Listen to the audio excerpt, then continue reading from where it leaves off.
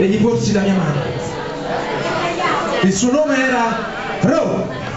Ah, perché se no come dice che dirà, facciamo.